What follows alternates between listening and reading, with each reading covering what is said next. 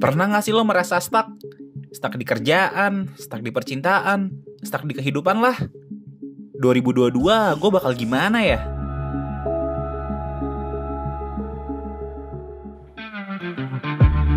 Pagi bre Pagi bre lu ngapain sih? Sana Fit, ah duduk ah. Apaan sih? Gak boleh ngeliat. Kenalin teman sekantor gue, namanya Puisi. Tiap pagi hobinya baca ramalan harian, terus ketawa-ketawa sendiri. Lo baca apaan sih? Tebak. Apa ramalan harian lo yang biasa lo baca tiap pagi? Iya itu tuh udah tadi pagi. Sekarang gue baca tarot. Lo mau liat gak? Lucu tau. Percaya aja deh kayak gituan puisi hari gini. Ih seru tau. Enggak, belum. Nggak percaya gue. Oke, kalau gitu gue tantang lo. Hah? Buat kita baca tarot sama orang yang bisa baca tarot langsung mau nggak? Bukan aplikasi. Gue mau dibaca tarot, Mm-mm. tapi gue nggak mau dibaca cuma satu tarot reader. Gue mau langsung dua. Oke. Soalnya kalau satu subjektif nggak sih? Iya sih. Habis itu kita juga harus ngetes lewat aplikasi. Itu bakalan sama atau enggak? Deal? Deal. Deal. Yeah, Oke. iya. Biar jadi pengalaman pertama yang greget, gue langsung ajak David ketemu sama Kevin dari Eri Theory. Dia udah 4 tahun berprofesi sebagai pembaca tarot. Kira-kira gimana ya hasil pembacaan gue sama David? Sip, jadi langsung kita mulai aja ya. Boleh. Jadi apa yang Mas David kerjain sekarang, itu kan kita bilang ibaratnya kita kasih pupuk ke tanaman. Hmm. Sekarang udah berkembang nih ya, ke depannya bakal ada banyak godaan ya dari. Mas Davidnya sendiri untuk kayak atau pindah haluan atau kayak nyoba sesuatu yang alternatif Hmm. ya yang bagi saya kalau saya bilang kok jadinya kontraproduktif nih jadi untuk apa gitu loh kayak belok sana belok sini gitu. Padahal tujuannya ujungnya udah jelas gitu. Bagus banget ini King of Pentacles. King of Pentacles ini kalau kita bilang ini kartu sultannya di kartu tarot. Oh gitu. dia yang paling punya banyak duit dia yang paling sukses dia yang udah paling nggak banyak apa-apa maksudnya kayak udah udah selesai semuanya udah ngerasain apa ya asin manis pahit kehidupan iya, gitu loh. Udah sampai di titik akhir. Dan ini ini bentuk akhirnya. Mas David ibaratnya kayak evolusi terakhirnya di sini Oke. oke aduh aduh Jelek ya? gue deg-degan. it's okay it's okay Eh, ya.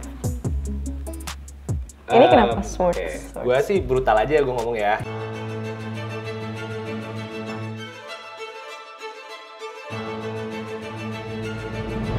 Jangan banyak gaya dulu dalam waktu terdekat. Oke. Tunggu dulu aja setahun dua tahun Mm-mm. ya.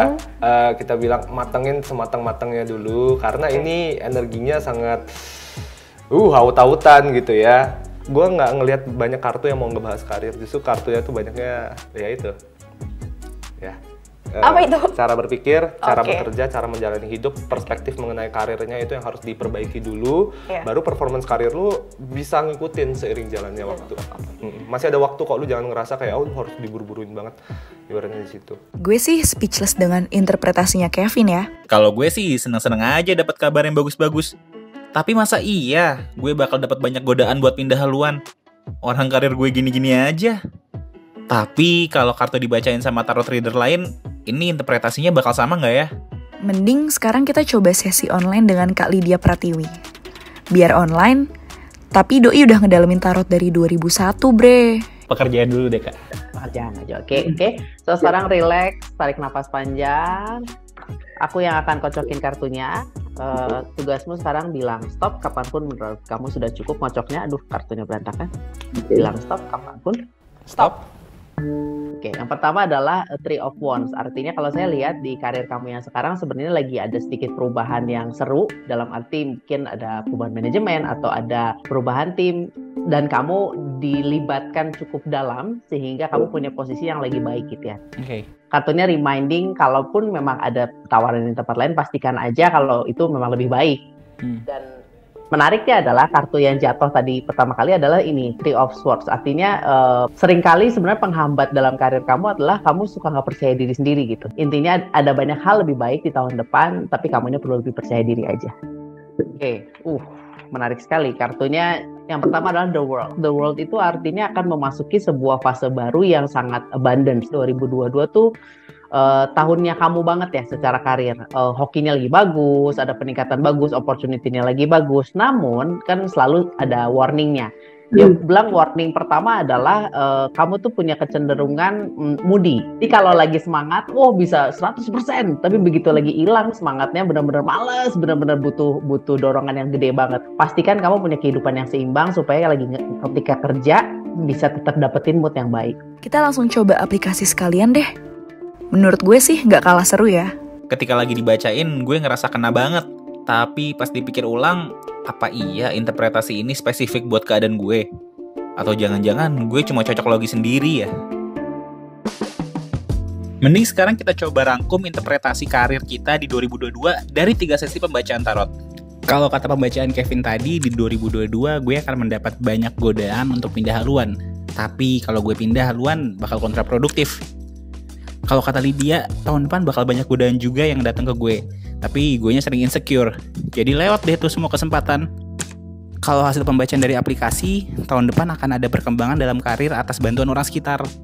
Ya semua orang gitu gak sih bre? Kalau kata Kevin karir gue udah cocok dan sesuai. Tapi di 2022 gue justru masih perlu belajar mengubah pola pikir dan mengendalikan diri. Sedangkan kata Lydia di 2022 akan ada banyak kesempatan buat perkembangan karir gue. Intinya sih 2022 ini gue bakal hoki. Tapi kalau kata aplikasi, gue akan mengalami perubahan di bidang karir. Seiring dengan meningkatnya keuangan, gue bakal dapat lebih banyak kesempatan untuk mengembangkan diri gue. Bacaan hari ini relate banget sih sama gue. Interpretasi tiap reader bisa beda, Percobaan sederhana kayak gini emang belum cukup untuk ngetes akurasi tarot. Tapi dengan begini, gue mulai paham sih, kenapa anak muda demen sama tarot dan tahayul lain. Gue seneng banget dibacain horoskop atau tarot, karena menurut gue, itu kok bisa jadi make sense banget, jadi gue seneng banget dibacain. Itu karena menurut gue itu bisa membantu gue untuk lebih kenal sama orang lain, bisa ngobrol sama orang kenapa sih anak muda sekarang jadi pengen banget dibacain gitu mas? Generasi milenial, ya, Gen Z ke bawah juga, ya. Bayangin mereka itu hidup di era yang serba nggak jelas sekarang. Kita pendapatan setengah-setengah, terus kan dihantam lagi dengan krisis pandemi, yeah. dihantam lagi dengan krisis ekonomi dan segalanya. Kita belum sempat tuh dapat kayak that sense of stability yang sebenarnya untuk para para boomers mungkin di umur-umur segitu mereka udah, udah yeah. stabil banget. Uh, menurut kali dia, apa sih uh, motivasi mereka anak muda ini uh, buat konsultasi tarot uh, sama kali dia? Oke, okay, uh, eh, rata-rata sih mencari klarifikasi ya. Jadi hampir semua orang sebenarnya datang ke aku tuh sudah tahu jawabannya, tapi mereka mencari mencari klarifikasi. Misalkan dia udah putus nih sama pacarnya, terus dia gitu, uh, gue udah tahu sih sebenarnya gue nggak mungkin, tapi bener nggak nih? Jangan-jangan gue jodohnya dia gitu. Gimana Fit? Overall gimana? Untuk pertama kali gue cukup surprise karena gue ngomong ketemu orang yang sama sekali gue nggak kenal, mm-hmm. gue nggak pernah ngobrol, tiba-tiba dia bisa ngebuka dan ngomong apa yang gue apa ya khawatirkan, apa yang jadi bahan pikiran gue gitu. Oke oke. Kalau lu gimana? Uh, ternyata nggak semua tarot tarot reading itu uh, bersifatnya spesifik. Hmm. Jadi ada yang general dan gue ngerasa fun makin fun, tapi juga ngerasa jadi lebih mengenal diri gue sendiri gitu Oke. Okay. Dibacain tarot memang kasih gue sudut pandang lain. Gue jadi terhibur sih, meski gue percaya masa depan itu nggak ada di atas kartu. Yang paling ngerti hidup ya kita sendiri. Di masa yang nggak pasti kayak gini, tarot jadi medium efektif buat curhatin kekhawatiran kita. Pembaca tarot bisa memberikan kita afirmasi bahwa segala keresahan kita itu valid. Ini sih yang bikin tarot seru. Kalau menurut lo gimana?